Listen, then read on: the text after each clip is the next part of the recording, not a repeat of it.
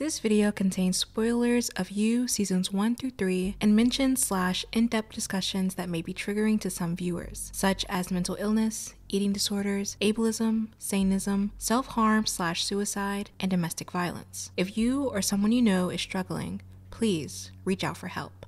Viewer discretion is heavily advised.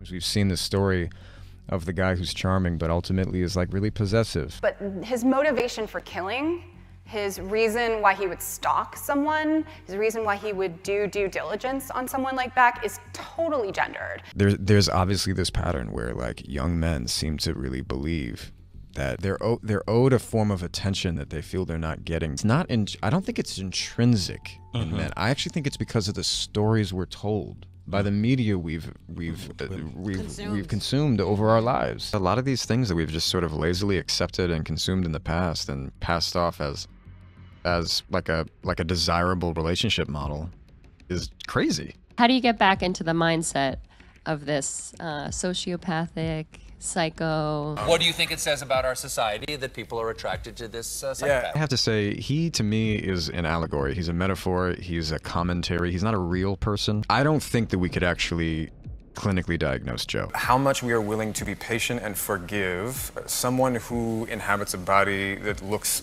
something like like mine, the color of my skin, my gender, these sorts of things, these sorts of uh, privileges. And points the finger a little bit at the viewer to make them question their own allegiances to these characters and you know maybe take that into their You make the decision. yeah own life Hello. You. Out of all the long and pretentious videos you could have clicked on today, you clicked on mine. Are you flirting with me? Sorry. Hello, hello. I'm Shanspeare, not Shakespeare, and it's easy to tell the difference between us because I have a hat to cover my big ass forehead, unlike some people. If you're new here, you're an associate I avoid eye contact with when I see you out in public. Don't wave at me. I don't know you. But if you're returning, hey bestie, how you doing? What are you getting for Christmas? What are you getting me for Christmas? So I recently finished watching season 3 of the hit Netflix series You. You don't usually hear the words hit and Netflix series in the same sentence for legal reasons, but the show is doing well. Like really well. The mark season 1 alone left on social media when it first came to the platform was enough to cause the rapture. I'm talking Tom and Jerry memes to the left and misogyny to the right. We were very busy that day. But there's something really great about you.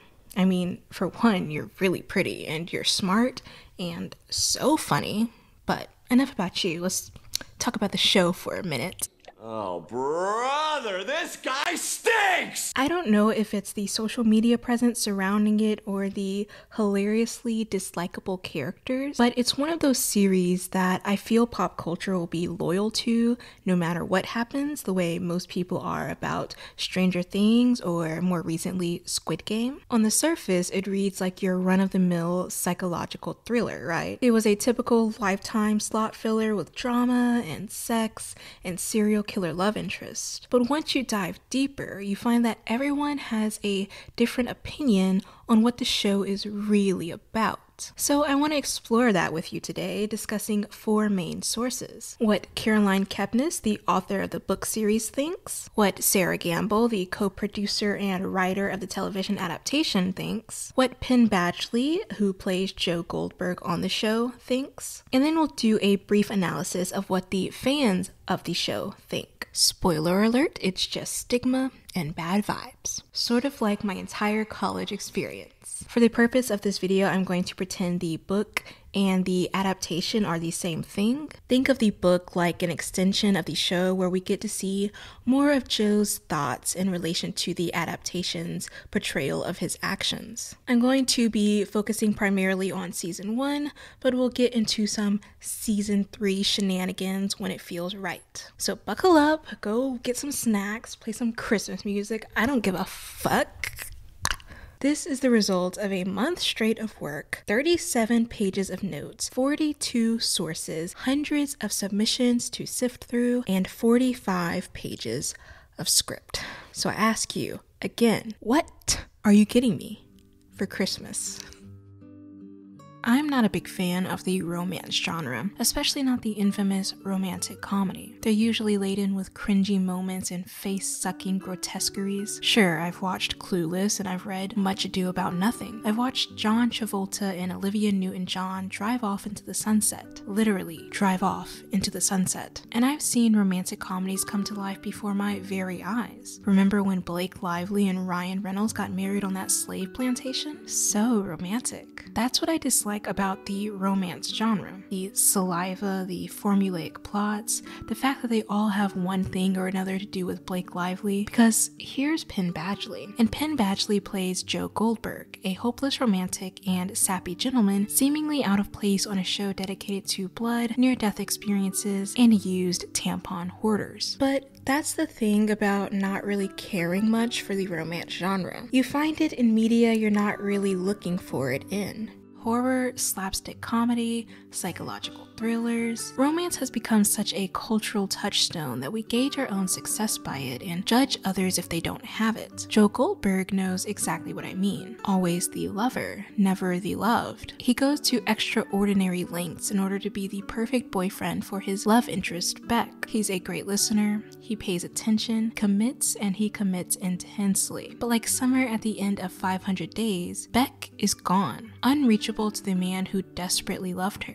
At the end of the book, as Joe listens to a wedding happening on the other side of the woods that he stands in, he understands this loneliness. He makes peace with it. I will probably die alone, he says, as Chet and Rose, the wedding goers on the other side of the trees, vow to spend the rest of their lives together. Of course, he'll die alone. He's a tragic hero. After all, his one true love, Beck, is lying dead in a grave at his feet. Dead because he strangled her twice an unspecified amount of time prior, and he'll never get to reap the benefits of all of his hard work and aggressive dedication. She will die loved, and he, hmm, well, at its core, You fits the mold of any classic romantic comedy, and this is not unintentional. Caroline Kepnes, the author of the original book, as well as its two sequels, Hidden Bodies and You Love Me, set out to make a love story that could rival the greatest. She wanted it to be full of whimsical dialogue and star-crossed lovers. Joe takes center stage as the intelligent,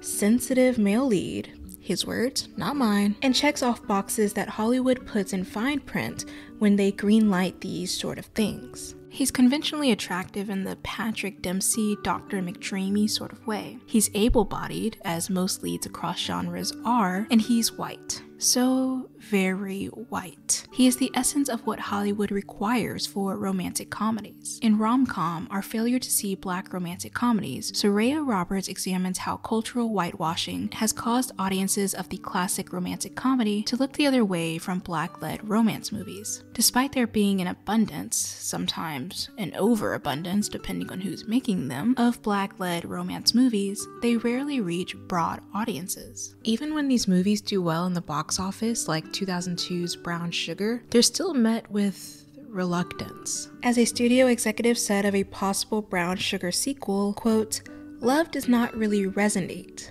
with black people. Comedy does. End quote.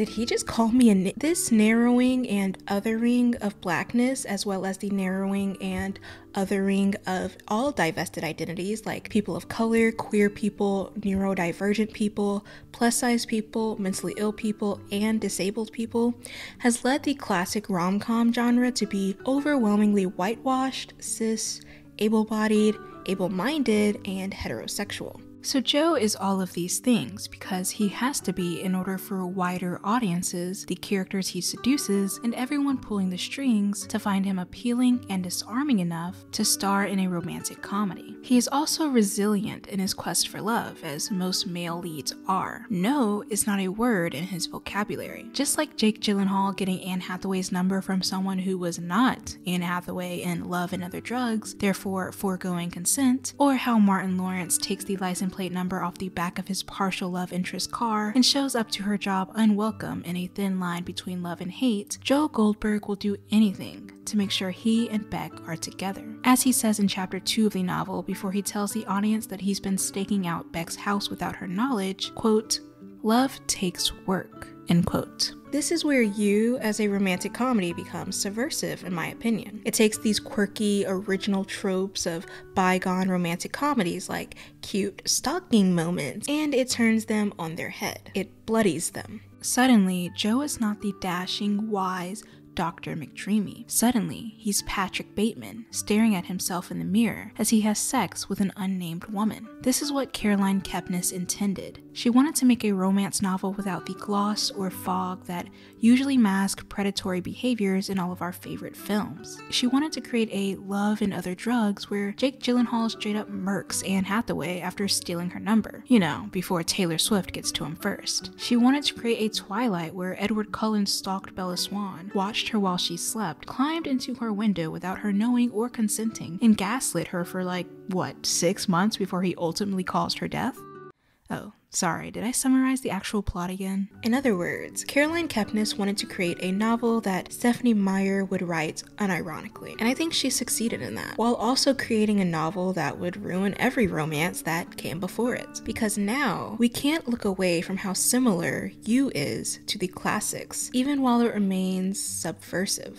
On page 23, Joe states, quote, Sometimes you have to play around with the facts in order to get the girl. I have seen enough romantic comedies to know that romantic guys like me are always getting into jams like this, end quote. The way in which Joe gets into these jams usually comes about through his use of social media, which is ironic because Joe often laments about how society stares at their screens until their eyes pop out and how we're all becoming slaves to the internet and yada yada yada. Let me look at Instagram for 18 hours in peace. But he utilizes social media and his phone in general just as much as, say, Beck, but the way in which he uses it makes Joe, and by extension the audience, think that he's so much better than these shallow, vapid city girls of the Peach Salinger persuasion. Spoiler, he's not. Joe uses social media to get closer to his love interest, which sounds harmless in theory. The first thing most people do when they meet someone new is to try for their socials, especially because giving out phone numbers in this day and age is like telling someone where you live,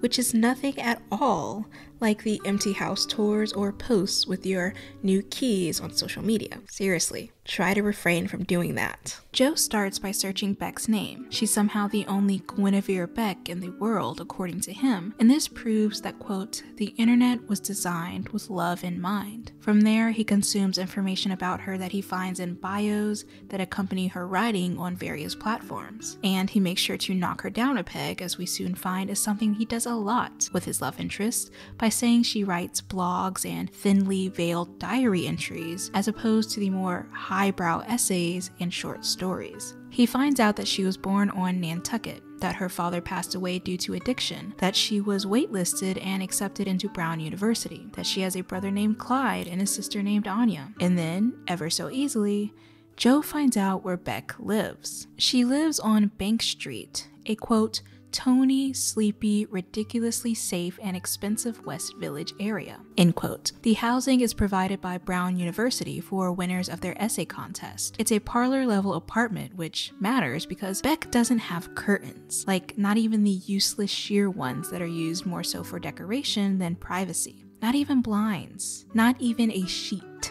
And this matters not because I'm blaming Beck for the subsequent ease Joe experiences with watching her every, sometimes naked, move, but because it wiggles out another theme within the show. Everyone thinks they're safe. This is a romantic comedy where it's okay for men to banish no from their vocabulary. Not only does Beck's decision to throw it back like that Tom and Jerry meme reflect her alleged desire to be watched, making everyone around her a voyeur to the inner workings of her personal life, it also reveals that she doesn't really expect anyone to be standing outside her window with malicious intent. And if she does, Joe is quite possibly the last person on that list. It's not just because he's a disarming lead in a romantic comedy, but it's because Joe rarely gets the time of day from his leading lady, Beck.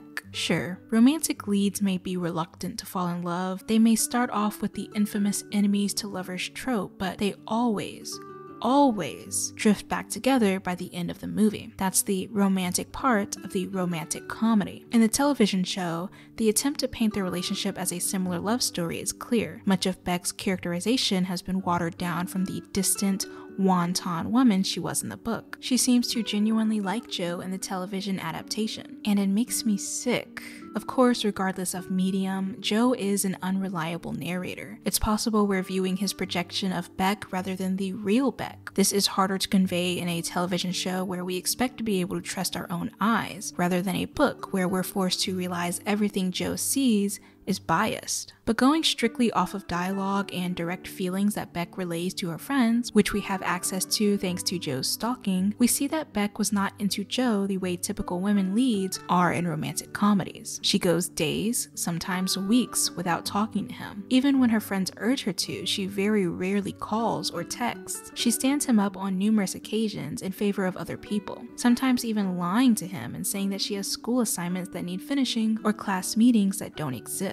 For much of the novel, Beck remains distant from Joe. She quite literally calls him a maybe, not a definite, yet he concocts this idea in his head that she's all over him. For instance, when they have sex for the first time, Joe finishes within 8 seconds, and that's whatever, it happens. After they finish, Beck begins to distance herself even further from Joe, telling her friends that she got too deep too fast, again, end quote, referencing her last premature relationship. Even after Joe kills Peach, who he thought served as a blockage in the relationship, Beck still goes weeks without reaching out. As she confides in her therapy letters to herself, she quote, reels in men and loses interest when she has them. End. That's why she imagines herself getting married to different men despite not really wanting a marriage, or why she hooks up with people like Dr. Nicky, who has a wife and kids. She quote, loves to be wanted. She loves new things. End quote. And Joe is just one of those things that's new to her until he isn't. Caroline Kepnes created a female lead in her romantic movie that didn't ascribe to traditional romantic dynamics. She didn't fall head over heels and dedicate herself solely to Joe upon meeting him. She didn't wait by the phone for his call. Throughout most of the novel, she acts in her own very best interest, or as Joe would say as he strangles her, she was solipsistic to the bone and she was blasphemous because all she wants is her. Beck was selfish. That shouldn't be a death sentence, but we can at least admit that her actions, especially in the novel, makes her a bad person. And that's not something you see every day in romantic comedies. The fact that Joe doesn't end up with any of his love interests throughout all of the seasons, despite giving it his all, is probably the most subversive part of the book and television adaptation. True love in this world doesn't conquer all like it has in so many romantic comedies before. Joe is alone, a male romance lead without his leading lady. I wonder whose fault that is.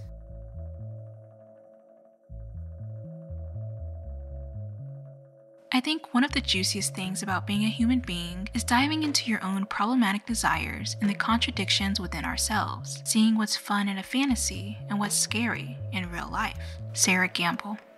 Joe Goldberg is scary, not just because of that emotionless yet feral face Penn Badgley excels at. Come on, buddy. Unclench, but because he represents something menacing that everyone, regardless of gender identity, has known or will come to know at some point in their life. the comments under this video, I can only imagine. For the record, I am 100% joking. I mean, I love men. I love Jung Hoseok. Wait, I should I should put my man before that. I love my man. I love Jung Hoseok. I love Jeff Goldblum. These are all very valid men. Joe Goldberg, on the other hand, is on thin fucking ice. The thing that Joe represents is much more than his gender identity. In fact, it's something that can be perpetuated by anyone, not just men. In the past, we've used words like machismo or male chauvinism to describe men who behave and think like Joe. More recently, however, the term toxic masculinity has taken center stage. It first popped up in academic circles, specifically feminist circles, but has gained a footing among the general population. From signs at protest to incorrigible dialogue on arguably the best show on television right now, toxic masculinity has become ingrained in our understanding of gender roles. Well, Kind of. Despite its usage on social media and in political spheres, the term toxic masculinity has become more of a buzzword. And like all great buzzwords, the public's understanding of it is very low. Now, I love a good discussion about toxic masculinity. Watch any of my videos and you'll probably hear it mentioned once or 34 times.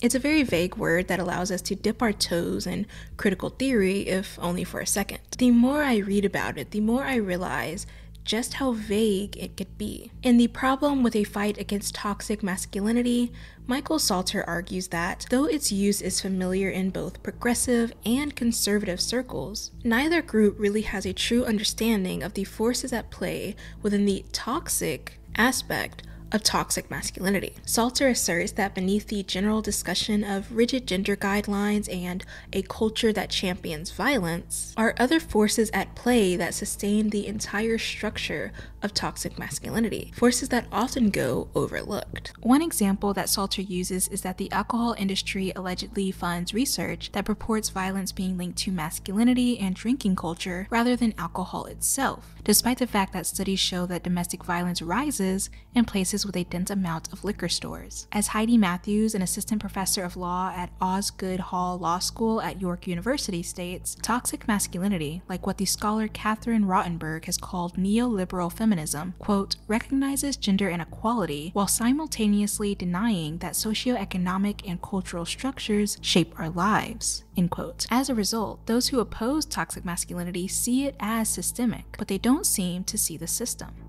End quote. Toxic masculinity is about power, and it's about who has this power. Matthews cites the police industrial complex as another hidden force beneath the more general label of toxic masculinity. I would argue that race plays a big factor, specifically in terms of white supremacy. Therefore, the toxic masculinity Joe represents hides a system of power beneath it, a power that I would argue is characterized by his white male privilege and society's investment in upholding whiteness as superior. This is one of the themes Penn Badgley, who plays Joe, picked up on in the show.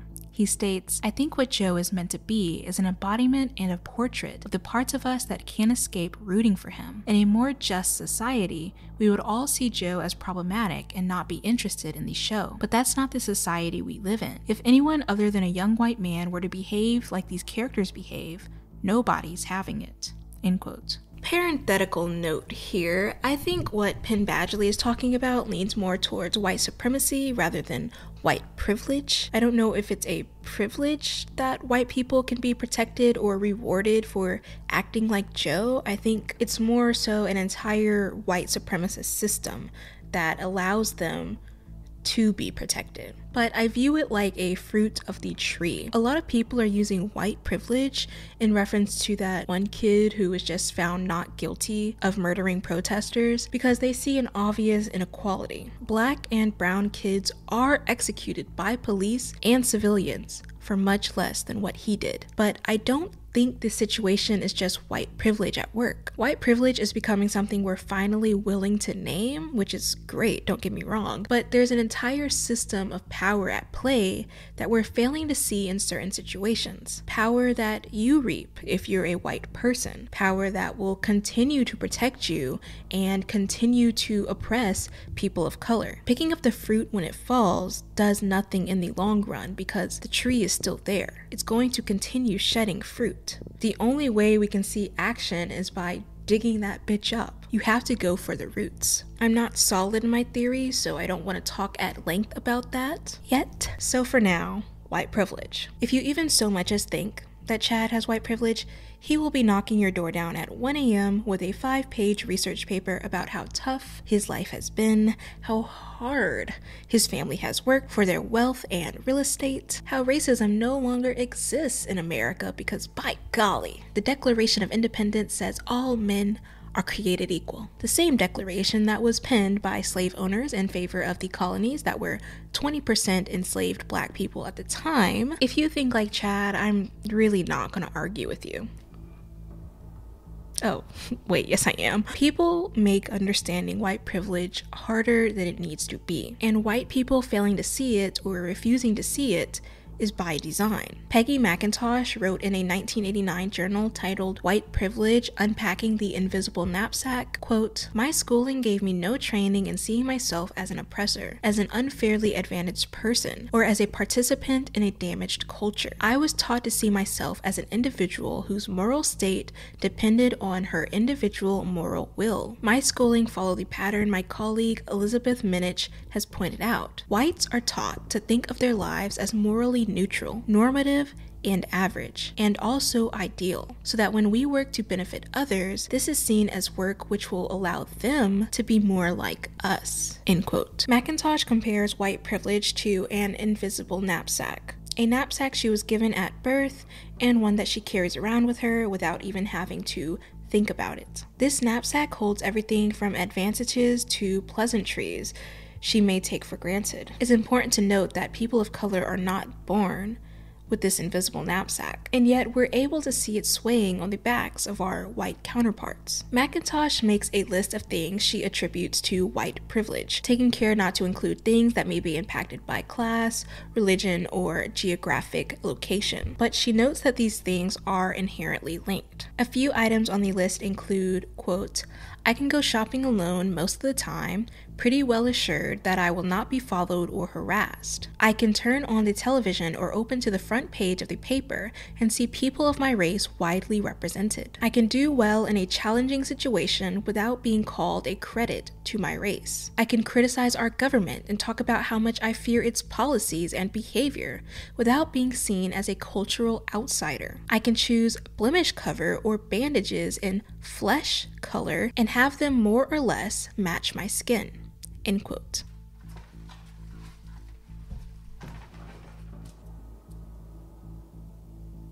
Some of these seem harmless, right? They're mostly about being represented in the media, being left alone when you go shopping, never having to fear race plays a role in everyday interactions. That's what I mean when I say white privilege isn't as hard to understand as people make it seem. It doesn't mean you have a hard life. It doesn't mean you hate people of color. It doesn't mean you and Brad Pitt are besties. It means that society invests in you. It invests in you because it was built to uphold white supremacy. You are the expectation, not the exception. And look, I get it.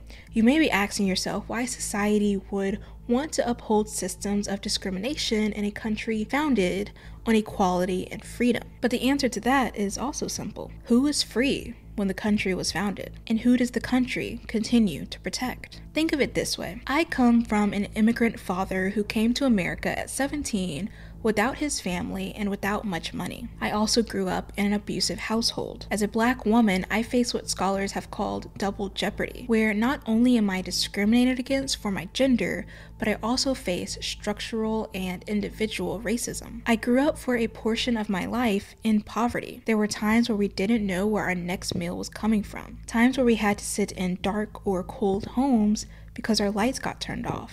And yet, there are still parts of my identity that make me privileged. I am cisgender, meaning I am privileged because systems in our society protect me more than they would protect a trans person. I'm able bodied, meaning I am not discriminated against by our ableist society the way a disabled person is. For instance, I don't have to worry about losing my benefits when I get married the way disabled people in America have to. I'm also college educated, which is something a large portion of our world will never experience due to finances or what have you. And as of now, I am financially stable. If there were an emergency, I would probably be able to cover it, unlike people who are impoverished. My blackness, womanhood, family immigration status, or abusive childhood doesn't negate my other sources of privilege. This privilege seems harmless, but on the other side of that privilege is an entire system.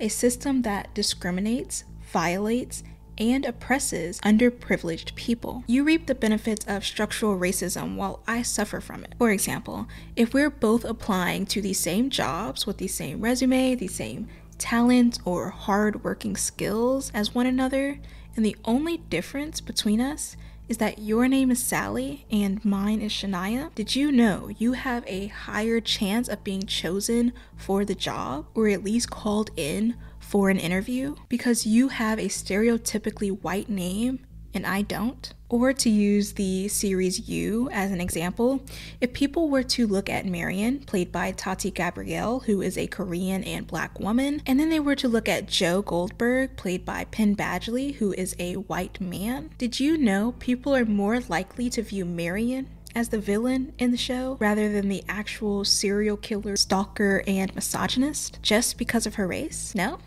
Well, it's happening on the You subreddit as we speak.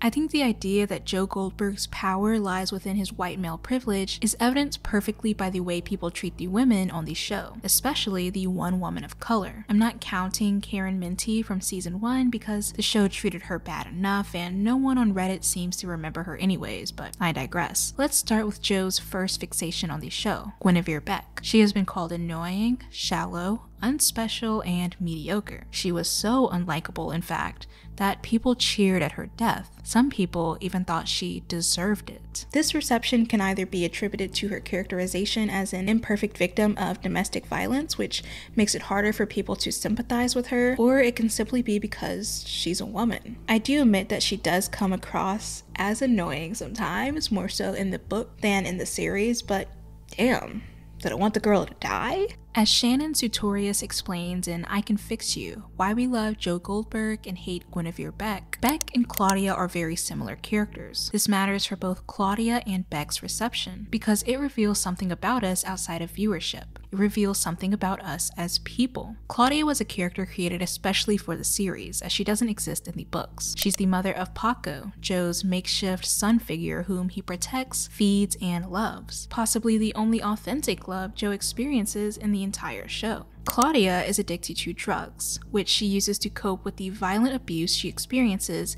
at the hands of her white ex law enforcement boyfriend. The similarities between Beck and Claudia really stop at the domestic abuse aspect of their characters. If anything, Claudia and Marienne are almost identical in their characterization. But Sutorius states, quote, like Claudia admitting to putting her own child in harm's way and letting a man who beats her get away with it, Beck admits to being a woman with complications and harmful intentions. She admits to her faults and issues, and by doing this, she shatters the view of innocent domestic abuse victims that society seems to accept for those wishing to report their abusers. She did not do what we deemed as, quote, right for a victim, end quote, and therefore her death is justified to us, end quote.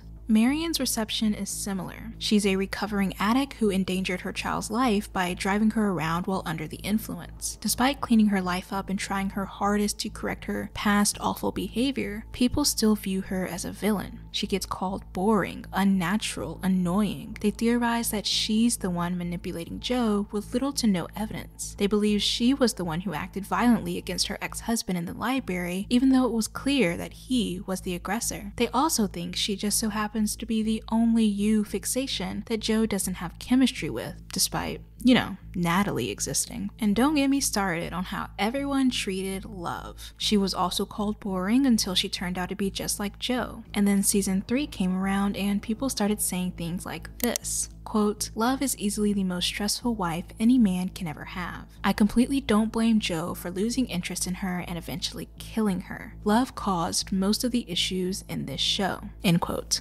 Viewers began saying that she was setting Joe's progress back, that she was at fault for Joe killing people in this season despite Joe killing people in every season, regardless of what woman he was fixating on. Love didn't make him push Marienne's ex boyfriend off the parking garage and stab him 34 times outside of a yoga class. Love didn't make him break into Marienne's apartment and hide under her bed without her knowing. Love didn't make him cheat on her with the neighbor within three minutes of moving into their home. You know who made Joe do that? Joe made Joe do that. And Love just put an axe in the side of his mistress and bludgeoned her teenage boyfriend and tried to kill Joe and thought about killing Marienne and got rid of Candace somehow and Delilah and by extension ruined Ellie's life. Am I missing any? We can blame her for those. Those are valid.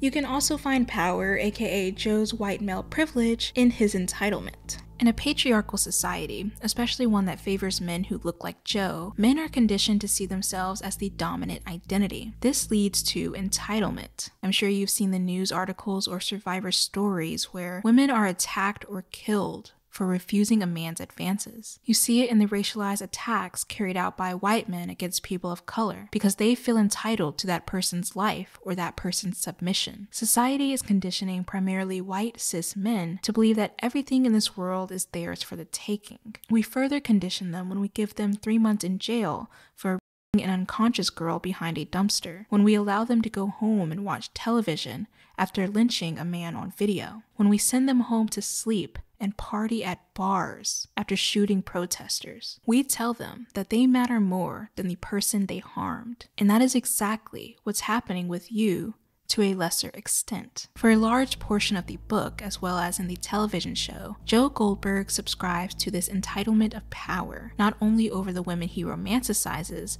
but over other men who he perceives as feminine or weak. Being a big macho man or feeling low and emasculated are running themes throughout the novel. They're spoken much more explicitly and I would even say more frequently than in the show. On page 78, Joe rings up a customer who's buying Doctor Strange, the new Stephen King book that everyone within a 20 mile radius is raving about. And he states, quote, The next asshole is rummaging through his wallet for his credit card to buy his Stephen King so he can, fingers crossed, read about a sicko doing sick things because he's too much of a to do all the sick things he wants to do, things he probably wanted to do since he was a kid. End quote. And on the same page, Joe says of Benji, who he has locked down in the basement, quote, I'm doing the kid a favor. When he gets out of here, he's going to be pissed about being locked up, but he's also going to thank me for making him into a man. End quote. He calls Benji a princess, a sissy, and a on numerous occasions, three very feminine coded words that allude to his weakness, and says that when Mr. Mooney locked him up in a cage as a kid, he didn't, quote, fuss and shake like a little girl, end quote. Side note, but I also think it's great that the novel and television series shows this conditioning of young men taught through generations. Mr. Mooney and Joe's dad were two abusive, violent individuals, teaching Joe that this is how men show love. He even states in the book, quote, Mr. Mooney cared enough about me to teach me a lesson. I learned. End quote. This ties back into a major theme Sera Gamble claims to explore in the first season, as she states, quote, What messages are we feeding our little boys? And what's the worst case scenario of that? End quote. When Joe and Beck are on their first date, Joe stretches to, quote, remind Beck that he has biceps and he's ready to kill anyone who dare look at her, and that he would, quote, fucking kill Hugh Grant, end quote, because Beck once watched a movie with him in it. He feels entitled to Beck, especially to her body. His desire for her, in so many words, made me want to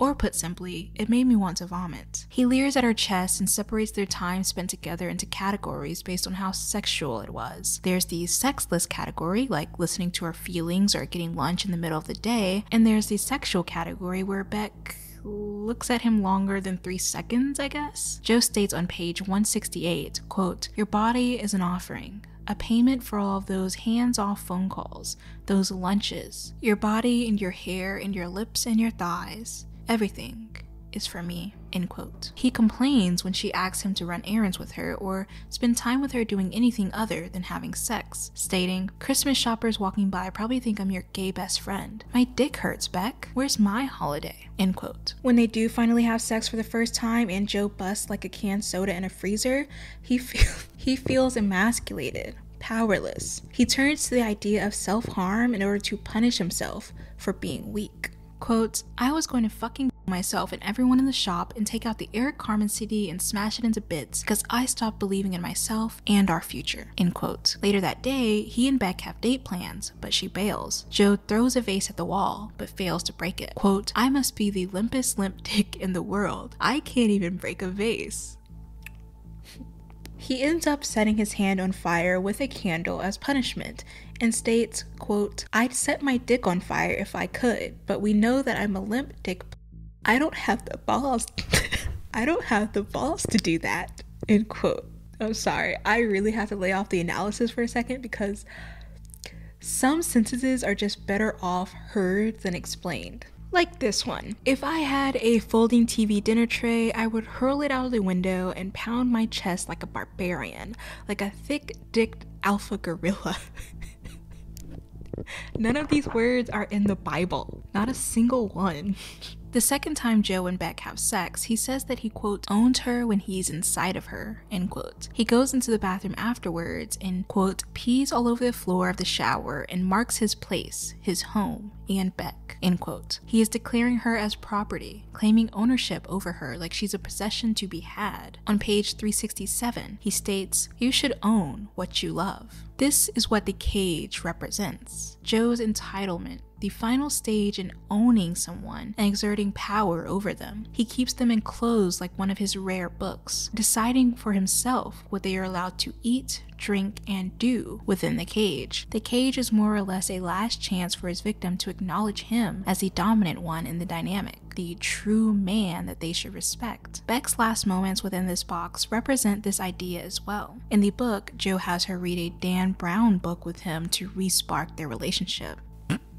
Nerd. Beck seduces him, lures him into the cage, and they have sex for a final time. As Joe leaves the cage, he leaves the door open behind him because, quote, in this new world, end quote, she's fully submitted to him, allowing him to own her even while she was trapped, signifying that his plan worked. Or so he thought. Because Beck didn't mean that shit. Fuck that shit and fuck Joe she said. She seduced him in order to escape, which she does attempt yet fails to execute. In this scene of the book, we finally get deeper insight into Beck's character, and it sits at a complete opposite of the romanticized version Joe made her out to be. Quote, You always look at me like I'm so amazing, Beck states, and I don't know. I don't know why you do that because I'm not. End quote. Joe is incensed by this point because he now understands that Beck will never fully submit to him, even after all he did to exert his power over her. He states, I killed for you. I deserve you. End quote. We end up in the same place we ended up in the first section, with Joe standing over Beck's dead body,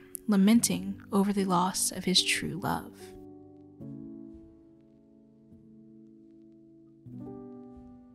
There is a medical condition called misophonia, which causes its sufferers to react with panic or even extreme rage at everyday sounds like chewing, humming, even breathing. Not everyone who hears the sound is going to react violently, but given the right set of preconditions, violence is absolutely possible. This is a quote from CBS's Criminal Minds in their 2018 episode Mixed Signals. Mixed Signals follows the BAU's quest to track down a devolving unsub who kills his victims by drilling into the left side of their skull. This area, as the episode's medical examiner explains, is the temporal lobe, which houses the primary auditory cortex. It's in control of receiving auditory information and translating it for us to understand. This is significant because, like most Criminal Minds episodes, the MO often points to a motive, and that motive, also like most Criminal Mind episodes, is usually based on a mental disorder. In this case, the unsub has a condition called misophonia, a disorder that causes individuals to have heightened reactions to auditory stimuli. The episode depicts the unsub killing people due to a low frequency ringing in his head, a ringing that his victims can't seem to hear. It also serves as a double reference to the hum phenomenon, which has people all over the world, including in Taos, New Mexico, where the episode is set, reportedly hearing an unexplainable low buzzing or droning noise. While clinical reports suggest misophonia may cause people to lash out if they hear certain noises, it's said to only occur in extreme cases. And even then, according to Dr. Jennifer J. Brout, there is no scientific research that backs this up. The portrayal of misophonia leading someone on a random killing spree sat uncomfortably with Dr. Brout as a psychologist who specializes with the disorder. She decided to question Breen Frazier, a writer for Criminal Minds, about the portrayal, of which he stated, Quote, writing the show is a collaborative process, and ideas often flow from real life and personal experiences of the writers and actors. Someone may casually mention a psychological or psychiatric disorder that a relative or friend suffers from, and the writer's job is to explain how this particular disorder, or sometimes traumatic event, might lead to serial murder. End quote. Frazier's response calls into question what Andrew Barecki calls the show's frail attempts at sympathetic portrayals, end quote, where they try to emphasize that not everyone with a mental illness commits violent acts of murder while simultaneously striving to pervert the mental illnesses of their friends or family in order to fashion it into a stigmatizing portrayal for TV entertainment. These portrayals lead to a spread of misinformation via sensationalism and eventually leads to the fear and discrimination of mentally ill people. In Music and the Monster, Sounding Fear and Mental Illness in Criminal Minds, Andrew Barecki argues that the way in which Criminal Minds uses its musical score during scenes directly involving mentally ill people committing or alluding to violence further adds to the stigma of mental illnesses, as it creates a negative reaction for audiences who hear the music coupled with the sensationalized violence carried out on screen. What a long sentence. But not every stigmatizing portrayal of mental illnesses or disabilities requires what Barecki refers to as, quote, conflicting images and sounds, end quote. Simple acts of stereotyping or exaggerating mental illnesses for the sake of entertainment leads to stigma. According to Kirsten Fawcett, these stereotypes and exaggerations can include portraying mentally ill people as dangerous, different in appearance, such as portraying them with wild eyes or a deformity, portraying them as childish or silly, negatively portraying them as all severe cases, insinuating that mentally ill people cannot strive for recovery, or portraying mental health facilities as creepy and haunted. The problem with these stereotypes and exaggerations is that they're often untrue, especially in terms of violence. In reality, mentally ill people are less likely to harm others than they are likely to be harmed. Caitlin O'Callahan states that, quote, only 3 to 5% of violent acts are attributed to individuals with mental illness. In fact, people with severe mental illnesses are 10 times more likely to be victims of violent crime than the general population, end quote. Yet, media depictions insinuate otherwise. Quote, Diefenbach analyzed the portrayals of psychological disorders on primetime television. He found that characters who are identified through behavior or labeled as having a mental illness were 10 times more likely than other TV characters to commit a violent crime, and between 10 to 20 times more likely to commit a violent crime than someone with a mental illness would be in real life. End quote. This leads to tangible consequences for mentally ill people in real life, as social stigma surrounding their disorders result in them losing social status, job opportunities, and even medical care. This is evidenced by the fact that people diagnosed with borderline personality disorder, one of the most stigmatized mental disorders, may be turned away from treatment, according to Sandra H. Sulzer. Quote, the majority of providers described my sample openly excluded the BPD patient population from care. Colleagues don't touch it, one provider reported. All clinicians who described seeing these patients had stories of interacting with colleagues who didn't understand their decision. I mean, and they, the colleagues,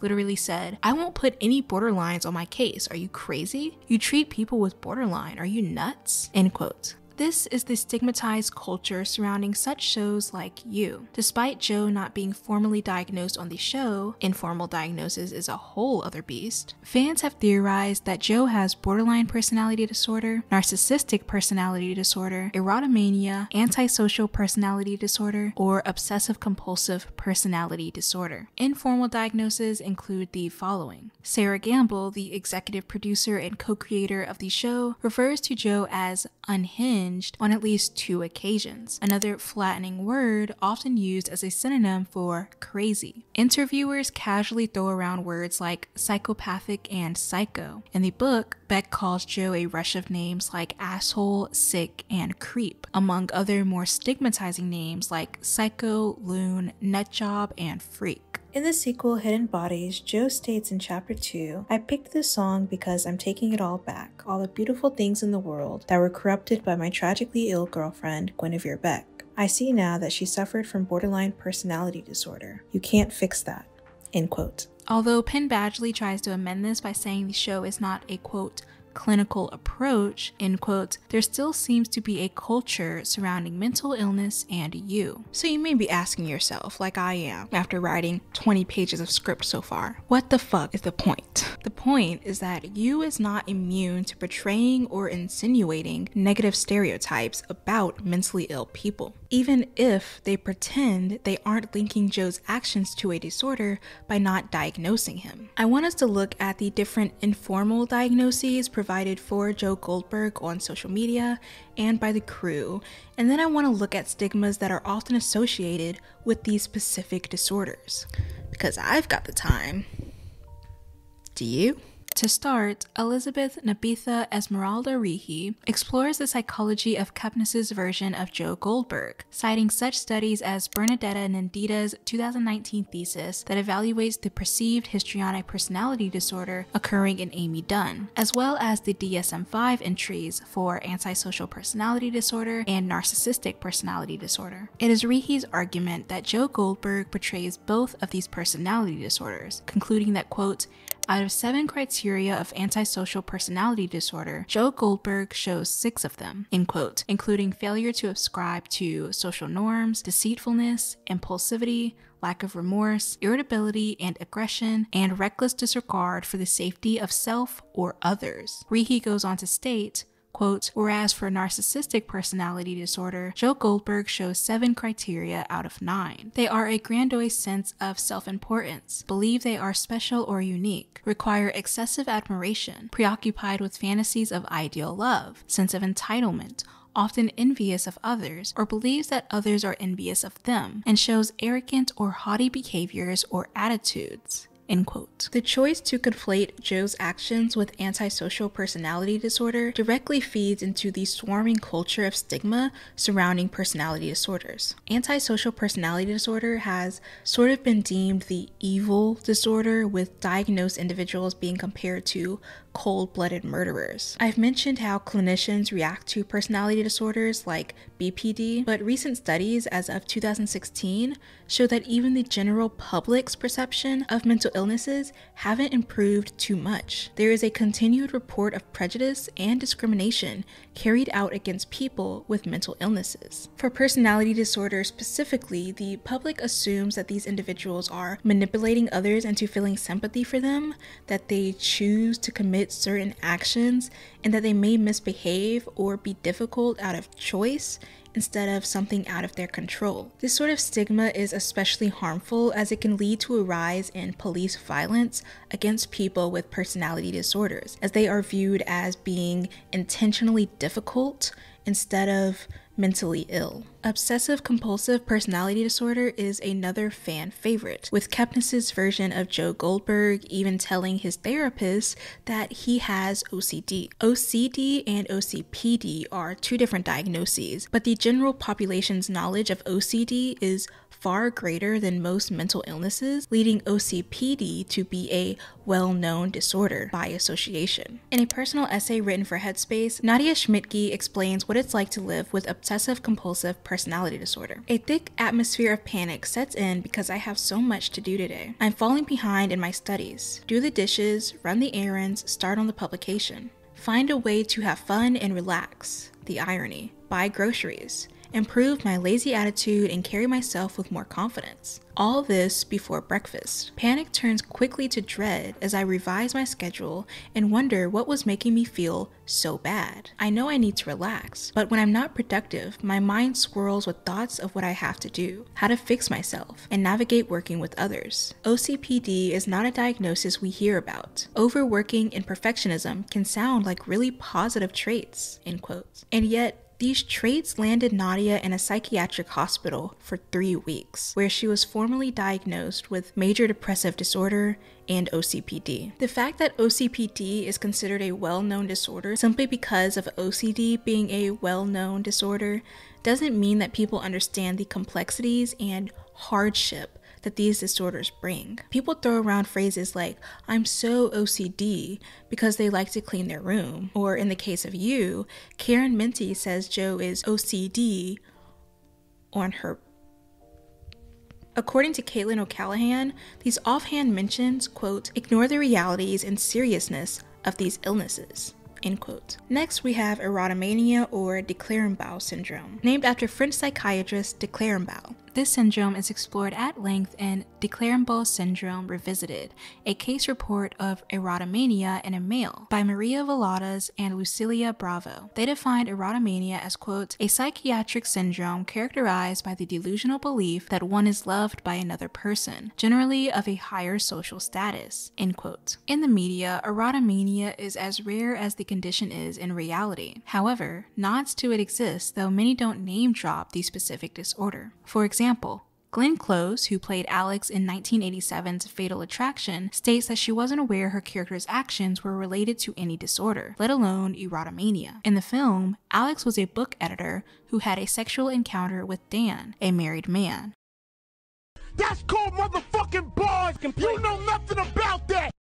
When she couldn't rekindle the relationship, Alex began threatening and eventually attacking Dan, his daughter, and his wife. Glenn Close said that she prepped for the role by speaking to two psychiatrists, both of whom never mentioned a disorder by name. It wasn't until the movie was released that Close first heard her character's actions being conflated with erotomania. I was in Fatal Attraction, she stated, and that played into the stigma. I would have a different outlook on that character. I would read the script totally differently. End quote. Alex from Fatal Attraction is not the only erotomania coded character in the media. For starters, there's like 24 different versions of Fatal Attraction, including a film starring Beyonce Giselle Knowles Carter, so there's that. All of these films typically show quote unquote obsessed women who create large romances out of brief encounters and will stop at nothing to get their love interest to notice them. Though the plot will get tweaked here and there across the films, these movies all have in common the quest to position mentally ill coded characters as the antagonizers. While Joe is noted to have erotomania, if the Wikipedia page is of any merit, he's still portrayed sympathetically, a point that was brought up in a submission I got for this video. Quote, I haven't seen you, so I can't speak of portrayals of erotomania there, but I just wish I could have female presenting characters with erotomania that were portrayed just as sympathetically as that guy. End quote. Another thing You has in common with these movies is the intention to position mentally ill people as the other as opposed to the innocent, safe, default main characters. Let me explain.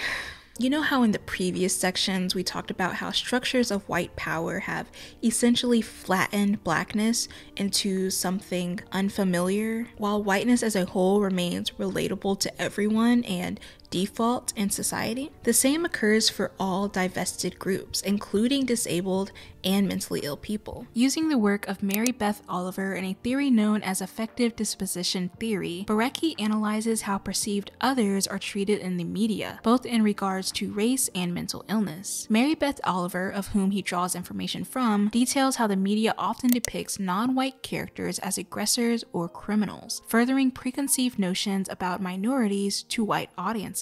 When these notions are confirmed by the media, especially by crime reality shows like Cops, white audiences further themselves from minorities, placing them as the other in opposition to their white self or default. Barecki argues that mentally ill and disabled people are treated this way in the media as well, with able bodied and neurotypical people serving as the self, and disabled, mentally ill, and neurodivergent people serving as the other. This is a big theme in the horror genre, which I failed to mention in my last video. It reminds me of Halloween's reception by the general public. When Laurie Strode rips the mask off of Michael Myers, the antagonist of the film, we get a glimpse of the actor who plays Myers. Audiences everywhere believed that Myers was disfigured in some way, so much to the point that the director of the movie had people coming up to him saying how brilliant the scene was for showing the killer's disfigured face. It added to the creep value, many of the fans said. Yet, Michael Myers was not disfigured in the first movie. He was played by Tony Moran, and that's just Tony's face. When I first read about that, I instinctively laughed because why did so many people think Myers was disfigured when he wasn't? But then I realized that there is almost an expectation for mentally ill people to be different from non mentally ill people in order for non mentally ill people to feel secure in themselves. In the media's eyes, and therefore the eyes of society, the other is coded as different from the self and is more likely to perpetrate crime or violence. Barecki uses Dr. Spencer Reid as an example since Matthew Gray Gubler, the actor who portrays Reid, claims he shows, quote, hints of schizophrenia, Asperger's syndrome, and minor autism, end quote. Just for the record, there are a few autistic people who have issues with that specific quote from Matthew Gray Gubler, not because they don't believe Reid is on the spectrum, but because of the insinuation that Asperger's and autism are separated, as Asperger's is now believed to be on the autism spectrum. I tried researching more into that, but I haven't found a lot of sources directly from autistic people. So, if any autistic people, specifically people who have been diagnosed with Asperger's in the past before it was taken out of the DSM 5, have the energy or are comfortable doing so, and comment your thoughts about this, that would be amazing. All right, back to it. The hints of schizophrenia are especially concerning to Reid in the show, as his mother was diagnosed with schizophrenia and he quotably apprehends a lot of schizophrenic unsubs in his line of work. Because of this, Spencer fears that this diagnosis will cause him to lash out violently or in turn be hunted down by the very FBI team he works with. Borecky states Reid's fears of becoming a killer and being hunted by the BAU demonstrate that the characters themselves consider the mentally ill as primarily violent criminals. End quote. This is also true of disabled representation in the media. Borecky references an analysis of Dancer in the Dark, which is about a woman who is actively losing her vision and resorts to violent murder after someone takes advantage of her blindness. Her son is also at risk of losing his vision if she can't afford the medical costs for surgery in time. At the end of the movie, her son receives successful treatment and she is convicted of murder and faking her blindness in order to exploit the American healthcare system, which is just. wow. She is subsequently sent to the gallows for execution. The study of this movie, conducted by Jennifer Iverson, concludes quote, films typically depict disability as a pathology of individual bodies rather than a construct of social stigma and discrimination. If the disabled character cannot pass or be miraculously cured, filmic narratives eradicate the character, thus implying that the external disability is a sign of internal deformities and that the character must be removed for the good of society. In this way, the incurable disabled character is commodified, institutionalized, demonized, ignored, or murdered. In Longmore's words, better dead than disabled. End quote. Further stigma can be found even in more recent films like 2019's Joker. I really hate to even bring this movie up because I just know I'll get a commenter who's like, Actually, Joker was a cinematic masterpiece and got my divorced parents to remarry me and gave me $8 billion so I can retire at the age of six. We get it. We get it. But we live in a society in why Joker's depiction of mental illness is dangerously misinformed, Annabelle Driscoll and Mina Hussein argue that despite its attempts to start a conversation about mental health, Todd Phillips' Joker only adds to the stigma surrounding mental illnesses. By correlating the Joker's descent into violence alongside the deterioration of his mental health and his slow reduction of medicine intake, the film can be considered yet another cog in the wheel of stigmatized portrayals. Driscoll and Hussein state Arthur's supposed loss of grip on reality is suggested by a peppering of nods to psychotic symptoms, delusional ideas of a grandiose nature, and hallucinations of his neighbor, which are confirmed by his eventual admission to a psychiatric institution. The result of this is to disappointingly remove Arthur's agency and divert attention from a potentially more stimulating conversation about wealth inequality and its responsibility for societal collapse. End quote. Driscoll and Hussein also argue that the movie flattens Arthur's symptoms, making it seem like a conglomerate conglomeration of many different illnesses, furthering the belief that mental illnesses are all the same. And you fans think Joe is a psychopath, but mental health experts say they're wrong, Julia Naftulin interviews social scientist Pamela Rutledge, who states Joe, quote, seems to be an amalgam of personality traits at abnormal levels that are constructed to make a good story and create a character that elicits a certain amount of empathy. But the reality, Naftulin goes on to say, is that, quote, very few people with mental illness behave like this in real life. End quote. Mental illness, of course, is a spectrum. Two people who are diagnosed with the same mental health disorder probably won't exhibit identical symptoms. But the point of all of this is that misinformed or outright offensive portrayals of mental health disorders and disabilities only aid in the normalization of sanism and ableism in our society. Ableism is tentatively defined as, quote, discrimination in favor of able bodied people. Saneism, on the other hand, refers to the discrimination of mentally ill or neurodivergent people. Saneism tends to get absorbed under ableism, especially for those who have mental illnesses that are disabling. I think for this video, I will refer to them separately while keeping in mind that there can be overlap between them. One easy way to see how normalized ableism and saneism is in our society is to look at everyday phrases and words we use as casual descriptors. Words like tone deaf, stupid, crazy, the R slur, and bipolar. According to Sumadri Banerjee, words have power, and often able bodied and neurotypical people have the ability to wield that power against disabled, mentally ill, and neurodivergent people. Quote, in such an environment where misconceptions about mental health abound, ableist language helps perpetuate negative stereotypes about those suffering from psychosocial disabilities and further stigmatizes any helpful talk around mental illness. After all, a person suffering from anxiety or depression would be much less likely to come forward and discuss these issues when their very illness is trivialized and treated as a joke. Another way we see ableism and saneism being normalized is the prison industrial complex. Mentally ill people make up a larger population in prison demographics than they do mental health facilities. It has been argued at length by academics that our culture's insistence on stigmatizing and portraying mental illnesses as a catalyst for violence has led to the rising population of mentally ill people in the prison system. I know there are people out there who will say, well, they're there because they committed a crime. And I mean, there's a lot to be said about that statement. I'm not saying mentally ill or disabled people aren't capable of committing crimes. However, stigma, a lack of proper training and education for police, as well as ableist structures that lead to lack of resources for mentally ill and disabled people, directly funnel them into the system. It reminds me of the school to prison pipeline, where black and brown people, especially young black boys, are disproportionately funneled into the prison system from their school. There are so many levels that aid in this disappearance of black and brown people, including high police presence in predominantly black schools, zero tolerance policies,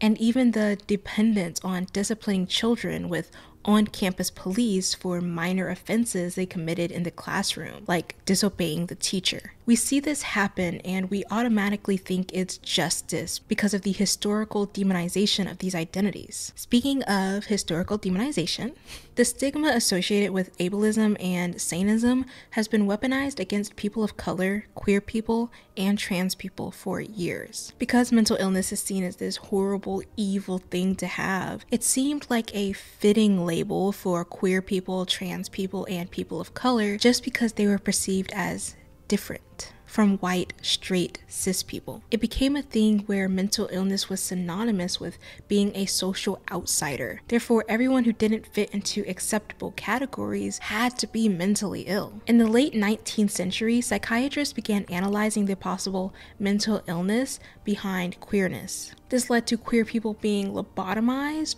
or treated with conversion or aversion therapy. The American Psychiatric Association even considered being gay a mental illness until 1987 when they took it out of the DSM altogether. Trans people face the same discrimination. WHO listed being transgender as a mental health disorder in a 1990 edition of ICD, which stands for the International Classifications of Diseases. In order to be considered a mental health disorder, it has to cause you distress and dysfunction. So they viewed being transgender as a cause for those feelings.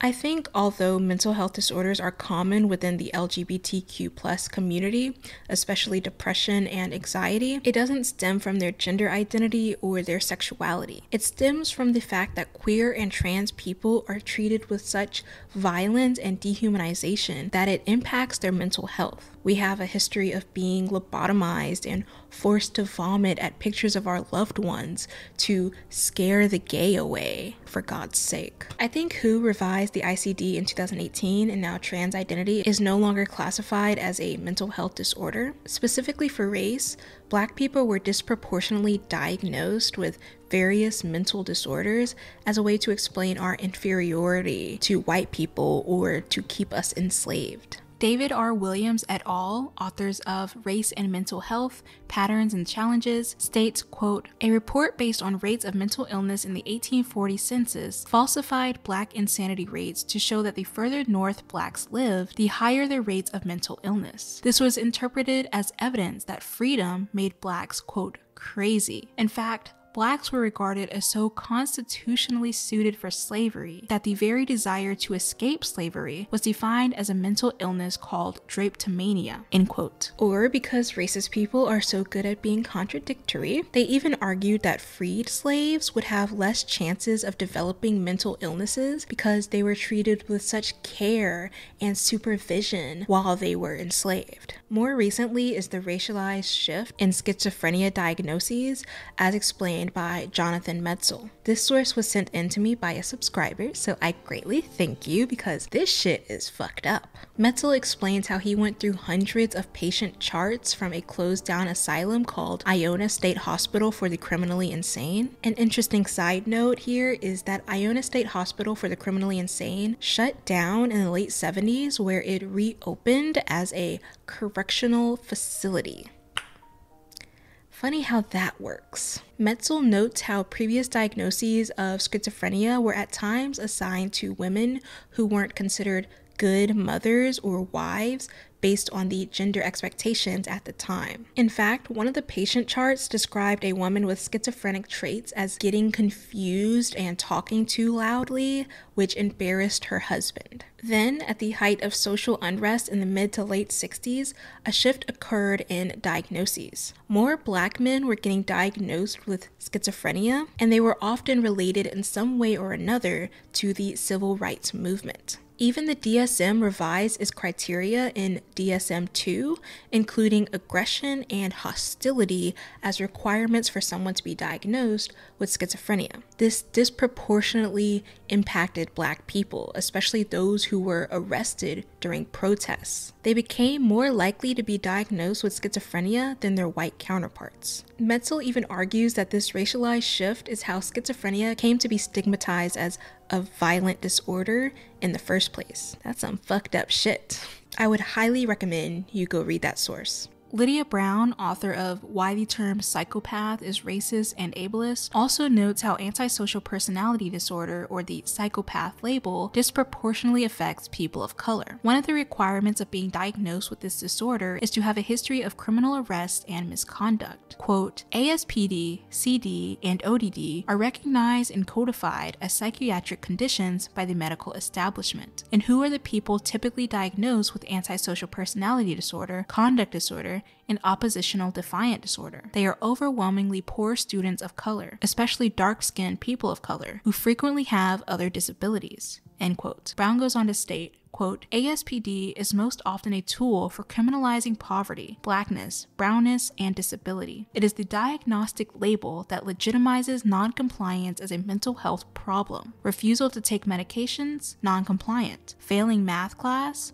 noncompliant. Stimming in public, non compliant. If you are non compliant, you are antisocial. You are mentally ill. You are a psychopath. End quote. This normalization is why people feel so damn comfortable diagnosing Joe Goldberg and celebrities and strangers on the internet. They don't really see mentally ill and disabled people as people. And I'm not saying that I'm above participating in inherently ableist or sanist things. I think my Ted Bundy video is a great indicator of that because I primarily use sources from academics and clinicians, and a lot of that information was steeped in sanist rhetoric. Even though I'm trying to learn more from disabled and other mentally ill people, I still have moments where I fail to be wholly inclusive. For instance, in the community post where I asked disabled people to chime in with their experiences, I didn't even think to add alternative text to the image so people who it needed would be able to know what the fuck I was talking about. It really made me realize not only how privileged I am to the point where I don't have to think about these things and don't notice when other people leave these things out, but it makes me realize how normalized and ingrained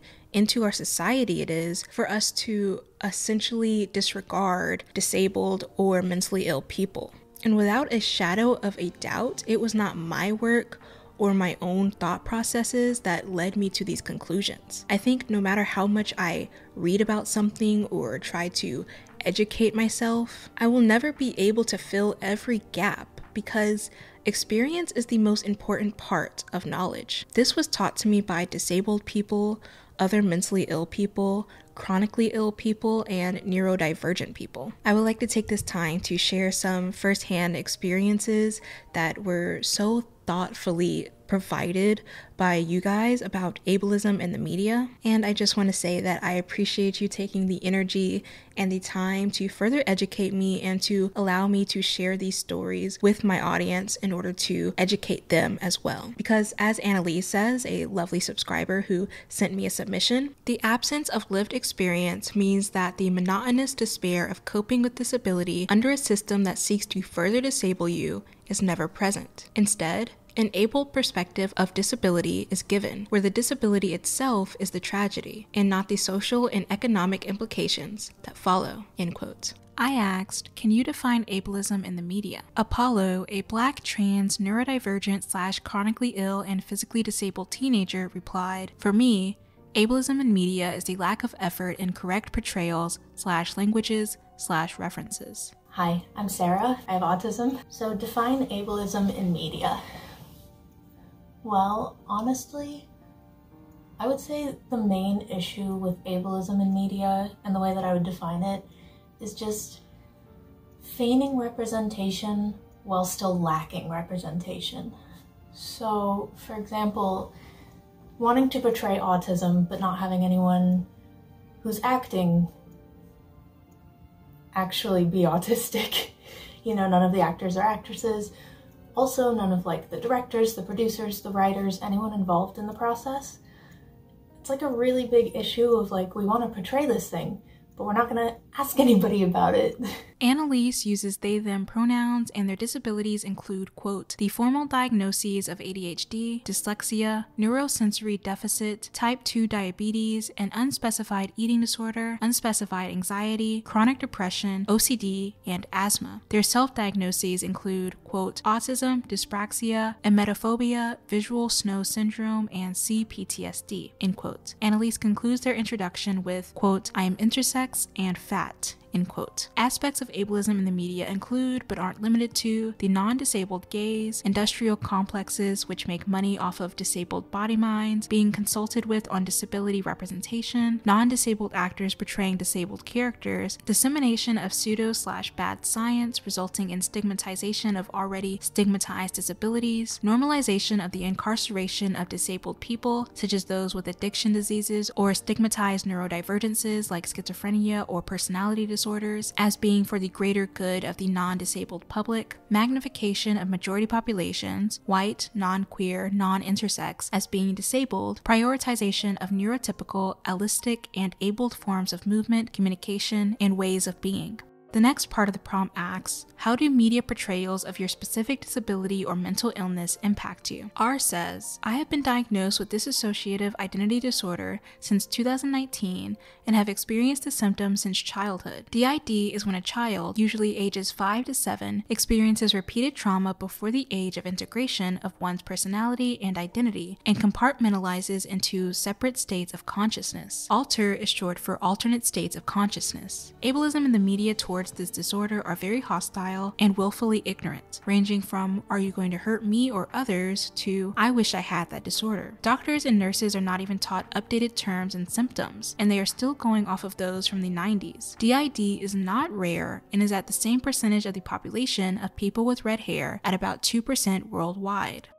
Anonymous says, For reference, I am professionally diagnosed with some mental illnesses which are anxiety, depression, ADHD, BPD, and mild psychosis. I think media representation adds more stigma to mental illnesses because we are often portrayed as weird or the outcast. Either that or they are often portrayed as babies who can't take care of themselves. They also like to glamorize these mental illnesses, especially depression, to make it seem like some sort of quirky disease, when in reality, it destroys you from inside. It makes it difficult to do daily tasks like getting out of bed, showering, etc. On the other hand, other mental illnesses like psychosis, BPD, or DID are often demonized by the media to make it seem like people who have these illnesses are inherently evil. In reality, reality, we aren't these comical villains who would pounce on any chance to act violent. Hello. Okay. My name is Leah. I have Tourette syndrome, and I'm here to talk about ableism for information purposes. In media, I feel like ableism has always shown. I feel like ableism was always there. I feel like showing disabled people for the sake of comedy was always a thing everywhere and now it's circled to TikTok in modern age, you know, society and media. Whether you're on YouTube, TikTok, or whatever, you will see ableism and it's usually from the perspective of a more in-depth and harder to read type of ableism, which is the type that romanticizes the easy parts of a disability and then fully negates the hard parts of the disability, which is romanticizing. People saying, I really want to have tics. This has happened online and also IRL. People saying, oh, tics are so cute. I really want a tic disorder. I've heard it everywhere. And that leads into people spamming words in lives to get the person to tick that word. Cheyenne says, Hello, my name is Cheyenne Langford, and I'm blind. I was born with non hereditary glaucoma. When we are portrayed, it goes one of two ways. We're superheroes or pitiful, so we can be someone else's inspiration porn. They use the blindness itself as the character's personality. The only show to write a blind character as a person with thoughts and feelings is Avatar The Last Airbender. While Toph does technically fall under the blind person with superpower stereotype, the writers worked very hard to make sure that her blindness wasn't her whole personality. I really wish other writers slash producers would use Toph as a model of how to write blind characters. Anonymous says, Hi, I wanted to write in about my experience as a Jewish lesbian with near debilitating borderline personality disorder. I have had to confront the comfort that the representation gave me, because sadly, I saw my worst traits in these characters, and that gave me a weird sort of validation. But I had to examine why I saw that representation in only villains, because neurotypicals want my disorder and in turn my experiences to be villainized. I wish more people understood that BPD isn't a character flaw or a villain origin story. It simply makes you kind of annoying, lol, but not irredeemable. What I was consuming also led to internalized hatred and belief I was undeserving of love because behaviors I can't control be viewed as villainous. But I found comfort in what I saw because that was all I saw. This revelation has also led me to deconstruct the importance I used to place on representation. As I've gotten older, I realize I don't need to be seen by people who aren't like me to see myself, if that makes sense. I am me, and that is enough. I don't need to see myself to be validated, as long as any portrayals of me aren't villainized. As both a Jew and a Sapphic, I have been led to believe that every aspect of myself is villainous, wrong, trickery, manipulative, and the portrayal of my mental illness through villains and bad people made me see my mental illness in the same way. Unlearning harmful stereotypes is hard, but I try. Madison states, So I have asthma, moderate to severe when not controlled, mild to moderate with my meds, and depending on the time of the year and my other health and all of that jazz. I was born eight weeks early with severely underdeveloped lungs, and have been medicated for asthma for as long as I can remember. There is genuinely no good representation of respiratory disabilities that I can think of. You can probably find plenty of characters that have asthma, but if it is ever brought up, it's almost exclusively as a joke. The number of scenes where the character, typically kid, puffs their, typically his, inhaler as a like silly haha look they can't breathe bit is just silly. For plenty of people, asthma is something they've grown out of or whatever, but for people like me, I'll never be able to breathe right. Having people think I'm lazy or not trying hard enough or making a big deal out of nothing sucks, especially as a fat person where those ideas slash traits are automatically applied to me because of my weight. I'm not a person of color, but I can only imagine how having an invisible chronic illness slash disability like asthma feels when you're already in a marginalized community. Black Americans have the highest rates of asthma in the country, and the AAFA have done some good research into racial disparities in respiratory illness. End quote. Maria says, My name is Maria, my pronouns are she, they, and I'm the host of a dissociative identity system. We saw your post on Instagram and thought we'd contribute if that's alright. We are physically disabled, half blind, half deaf, chronic fatigue, epilepsy, anemia, we have a stutter if that counts, etc., etc. Neurodiverse, autistic, and struggle with mental disorders such as depression, derealization, PTSD, and anxiety. And obviously, we don't speak for the communities we are a part of as if we are the end all be all. Everyone's experiences are incredibly specific and diverse. For us specifically, ableism in the media comes across as demonization and misrepresentation, specifically of DID, and people not taking our physical disabilities seriously and using them as comic relief or ignoring complex disabilities because, quote, they're too hard to work with, end quote, and also acting like there is only one way to be disabled. The media is fond of the trope of characters having a secondary side that controls them, and usually is evil. This is particularly harmful because when I try to explain DID to people so they'll treat us as more than subhuman, they assume that there are evil alters. And in some cases, we have been asked, so which one of you is the evil one, outright. In hindsight, I realized that it would also benefit to hear from disabled and mentally ill people about their lived experiences outside of media stigma and character representation. So, I want to dedicate this section to a spur of the moment prompt. How have people treated you since they became aware of your disability or mental illness? I do know that I started hearing more about fibromyalgia between 2012 and 2016 before I got my diagnosis. Um, and during that time period, I remember that there were people that would come up to me and talk to me about uh, a friend of a friend of a friend, or like a long distant family member, or something like that. And they would absolutely come up and share that that, that person said they had fibromyalgia or was diagnosed with fibromyalgia and very much related them to making it up, to uh, talking about them in the vein of them being lazy, of them being a hypochondriac. I heard that kind of relation a lot when I was younger. When I realized that I did have fibromyalgia and I was realizing that the daily pain and the extreme detriment to my quality of life were connected to fibromyalgia, I thought about those comments and the people who those comments were made against and realizing that there were these people who were experiencing fibromyalgia and were being called by their friends and family lazy or liars. And it was an intensely sad period of my life, battling my own inner thoughts for not having the same kind of mobility that I used to, and scared that I would be accused of the same things behind my back from the people that I knew and cared about. Lauren is a person with schizophrenia who runs the YouTube channel Living Well with Schizophrenia. She makes videos as educational resources on schizophrenia slash schizoaffective disorder for quote people with the diagnosis, their loved ones, and for people who just want to learn more about the illness. She didn't submit anything, but I found her videos while researching and I thought it would be a welcome inclusion. In a video titled Conservatorships and Mental Illness, Lauren discusses the Free Britney movement and whether conservatorships slash guardianships are ethical in regards to mentally ill people. Quote, so I have been in the position multiple times before where I have been deemed incompetent and unable to make decisions for myself as it pertained to my care. I cannot begin to tell you how dehumanizing and condescending this felt. I felt like I was being told I wasn't a real person and that others would be making all my decisions for me going forward, which was essentially what was happening. End quote. Though Lauren acknowledges that there may be situations where it could be unsafe for someone with a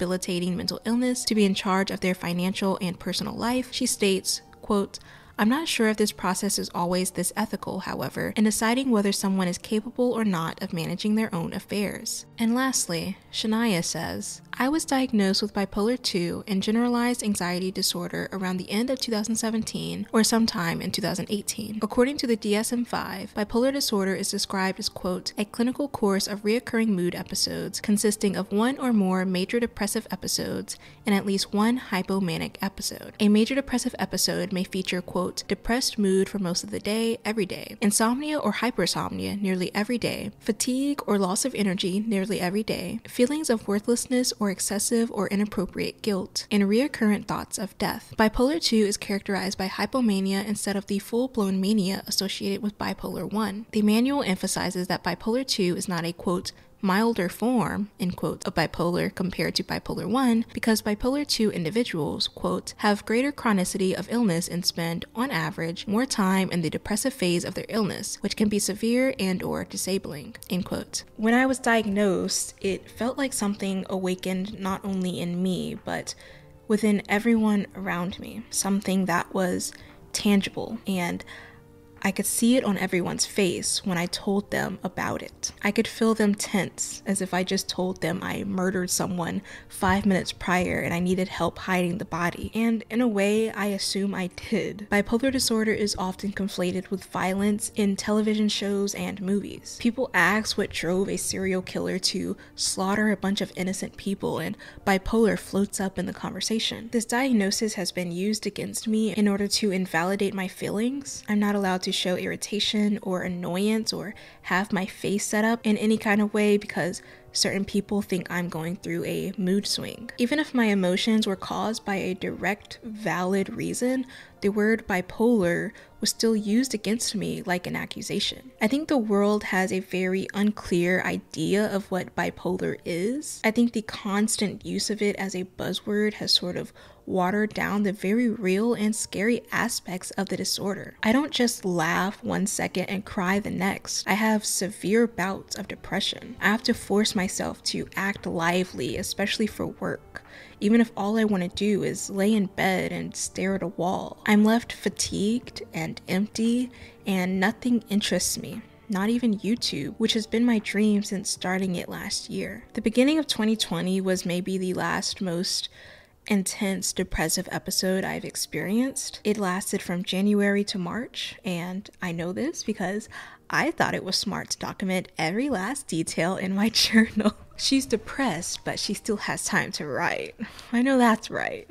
And the funniest part, funny to me, maybe not to you, is that the last entry of my episode that I wrote down was a reasons to live chart and a reasons to die chart. And you can assume which one outweighed which. On the very next page, maybe a month later, the first sentence is Okay, wow, Miss Drama Queen, I'm alive. I'm sorry if this is not funny to you. I understand it's really heavy, but I think it's great to be able to look back on that and realize that I'm still here. So, what does this all mean for Joe Goldberg, the series You, and the people who are probably getting tired of hearing me talk at length about something that could have been summarized in about 20 minutes? It means that one, I was an English major and we had word counts up to here. If I can talk for 40 plus pages, I'm a talk for 40 plus pages. Second, it means that negative associations between mental illness and violence, as well as misrepresentations of mental illness, leads to unfair discrimination and further isolation for these individuals who are already systematically oppressed via an ableist and sanist society, as Megan Smith states. So, what's so dangerous about portraying criminals as objectively different? It helps create an us versus them barrier that isn't real. Criminal Minds assumes there are criminals and then there are normal people. These suspects are so profoundly other that we can assure ourselves that we will never be like them in any way. But all criminals are human, and we, the viewers, are human. So, what separates us from the killers? The answer for most people, especially the BAU, is that they must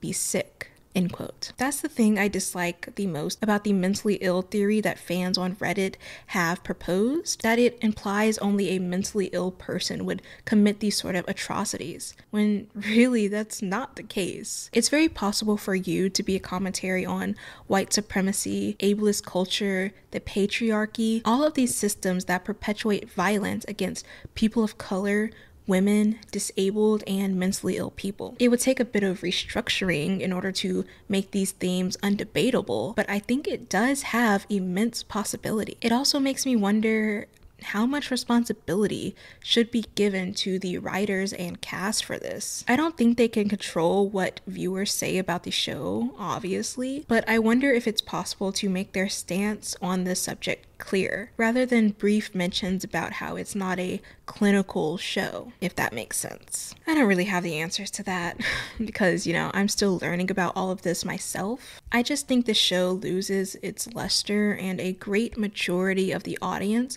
loses their empathy when we fall into age old rhetoric about mental illnesses. Anyways, thank you guys for watching. If you even made it this far, like all of my videos, the topics I covered here are all tentative. I'm still in the process of learning as I will forever be because Learning doesn't end at a certain stage or at a certain attainment of knowledge. If I missed anything or if anything in this video needs to be clarified or corrected, by all means, leave a comment down below so I can make sure to keep it in mind going forward. Thank you to everyone who submitted something, and thank you to the hundreds of comments I got under that original community post. I wish I could have included them all. Please go check those out for more first-hand stories, and thank you again. I'm gonna go drink some water, take a goddamn nap, and finally peel off the skin of this alter ego because, baby, it was draining me. Have a good day, or night, or afternoon, and I will see you in my next video.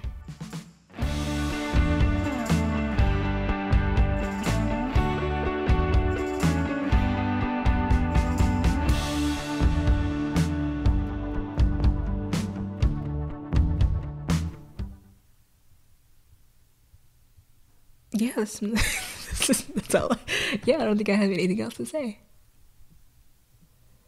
What do I do now?